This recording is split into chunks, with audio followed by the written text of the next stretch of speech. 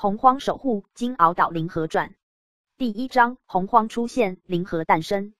在遥远的洪荒时代，天地初开，万物滋生。在这片神秘的大陆上，有一座名为金鳌岛的仙岛。此岛上灵气充盈，乃是修行之的的宝地。某天，一条灵河在岛上悄然诞生。它伴随着金鳌岛的成长，汲取天地精华，逐渐形成了自己的意识，并开始修炼。灵和名为水源，数十亿年的修炼让他的身躯遍布整个金鳌岛，成为岛屿的守护者。他通过不断吸收岛上的灵气和天地间的力量，逐步增强自己的法力和智慧。第二章：通天传道，护岛大阵。在水源修炼的漫长岁月中，通天教主来到金鳌岛，建立了截教。通天教主收徒无数，门下弟子多为洪荒异兽和草木精灵。他看到了水源的潜力，决定将他培养成结交的守护者之一。通天教主传授水源阵法之道，并指点他如何以自身化阵，守卫结教大门。水源潜心修炼，最终领悟了通天教主传授的护岛杀阵，成为金鳌岛的第一道防线。第三章拒敌门外，结教大门外总有各路修行者和妖魔觊觎金鳌岛的灵气和法宝。水源奉命守护大门，凡有不怀好意者，他皆毫不留情地拒之门外。一天，一位凶煞之气浓重的修士来到金鳌岛，要求入交。水源现身，冷冷地说道：“你与我交无缘，速速离去。”修士不甘心地反驳：“通天圣人有教无类，我不远亿万里而来，你怎能将我拒之岛外？”水源冷静地回应：“你杀戮成性，入不得截教。”修士恼怒不已，你截教大师兄多宝道人乃我至交好友，无受其所邀前来，你怎能阻拦于我？水源思索片刻，说道：“也罢，既与多宝相识，本座就给你一次机会。此乃师尊部下的护岛杀阵，你若能闯过，便让你上岛。”修士闻言，只得硬着头皮闯阵，却最终被困阵中，无法脱身，只得灰溜溜的退去。第四章护教门徒。随着时间的推移，越来越多的修士慕名而来，希望拜入截教门下。其中不乏一些心性不正者，被水源严厉拒绝。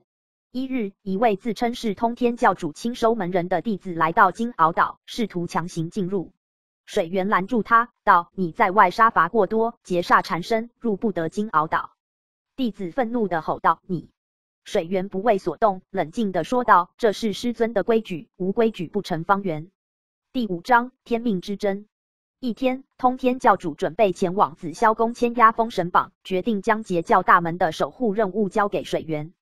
他来到水源身旁，吩咐道：“水源，本座需前往紫霄宫处理封神榜之事，这段时间截教门户便由你看守。”水源恭敬的应道：“师尊放心，有弟子在，大门绝不会丢。”就在此时，一股强大的气息从远方袭来。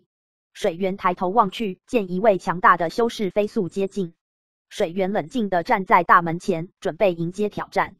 修士抵达后，冷笑道：“截教大门有你这条河守护，我不信闯不过。”水源平静地说道：“师尊，你要前往紫霄宫签押封神榜，闯过我这时空长河再说吧。”通天教主离开后，这名修士果然开始闯阵。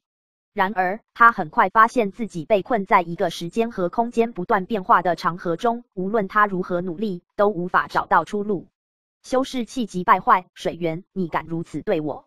水源淡然回应：“若你能闯过此阵，便有资格入截教；否则，请回吧。”第六章大门无恙。数月后，通天教主从紫霄宫返回，见截教大门安然无恙，心中大慰。他走到水源身旁，微笑道：“辛苦了，水源。”水源恭敬的回应：“为师尊守护截教，是弟子的荣幸。”通天教主点头赞许：“你以身化阵，守护截教大门，功不可没。从今以后，截教大门的守护之责，便由你永久担任。”水源听后，心中充满了自豪与感激。从那天起，他不仅是金鳌岛的守护者，更是截教大门的第一道防线，永远守护着这片神圣的土地。第七章未来守护。随着时间的流逝，结交的名声越发显赫，更多的修士慕名而来。水源依旧坚守在大门前，审查每一个前来求教的人。